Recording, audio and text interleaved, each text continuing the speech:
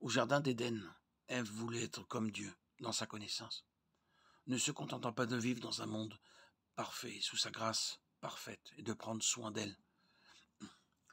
Satan a tenté le Christ avec les mêmes trois tentations pendant ces quarante jours dans le désert. Matthieu 4, 1, 11.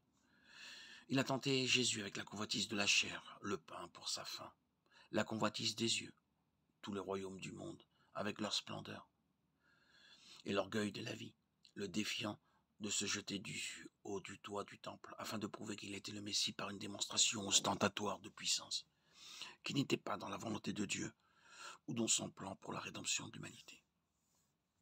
Mais Jésus, bien qu'il ait été tenté en toutes choses, comme nous, a résisté au diable et a utilisé la parole de Dieu pour assurer la victoire sur lui.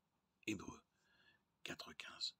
Car nous n'avons pas un souverain sacrificateur qui ne puisse compatir à nos faiblesses. Au contraire, il a été tenté comme nous, en toutes choses, sans commettre de péché.